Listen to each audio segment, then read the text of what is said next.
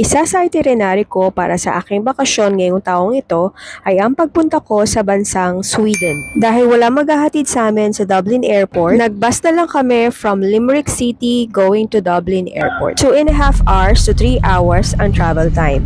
At dahil walang stopover ang bus, kaya very smooth ang aming pagbiyahe. Kung napansin ninyo, medyo mataas ang posisyon ng upuan ng bus kasi doon sa baba, nandun lahat nakalagay ang mga luggages. Dumating kami sa airport na mga before 6 a.m. Ang departure time namin is 10 a.m. going to Arlanda Airport. Kaya tamang-tama lang ang pagdating namin sa Dublin.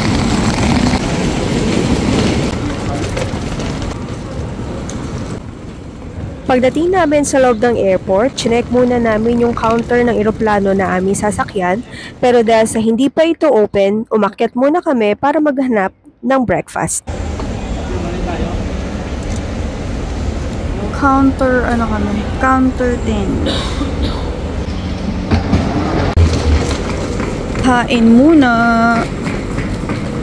Dito namin napiling mag-breakfast sa Food Village para siyang food court. Dahil medyo maaga pa, marami sa mga food outlets nila ang close pa. Buti na lang meron na silang Irish breakfast at syempre coffee. After 30 to 45 minutes, nag-open na rin ang counter ng eroplano na aming sasakyan kaya nag-check-in na kami ng aming luggages. This was the first time na pati ang hand carry luggage ko ay pina-check-in nila dahil full daw ang aming flight. Maganda rin pala yung feeling na wala kang masyadong dala, kaya na-enjoy mo Really? yung paglalakad mo sa loob ng airport. Same? In Auntie room? Ate have this.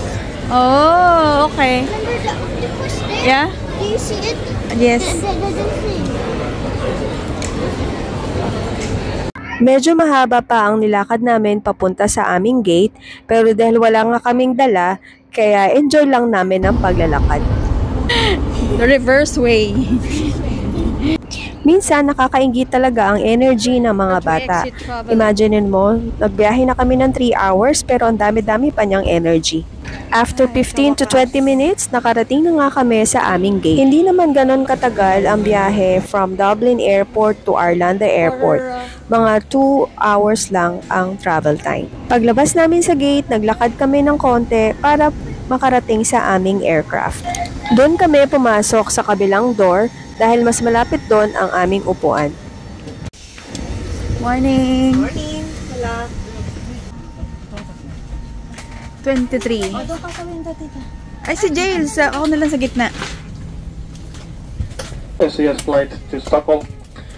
To speed up the boarding process and minimize close contact with other passengers, Pwede I kindly ask you to take the seat indicated on your boarding naman. card as quickly as possible. Bakit parang liliit? Please avoid queuing in the cabin by stepping into your row and place only large items into the bins. At habang naghihintay nga kami ng ibang passenger, syempre nag-selfie kami. Habang papalapit kami sa aming destination, malalaman mo na na medyo maulan sa Sweden. Pero at least kahit umuulan, we landed safely sa aming destination. We arrive at 2.30pm in Stockholm Arlanda Airport. Bye.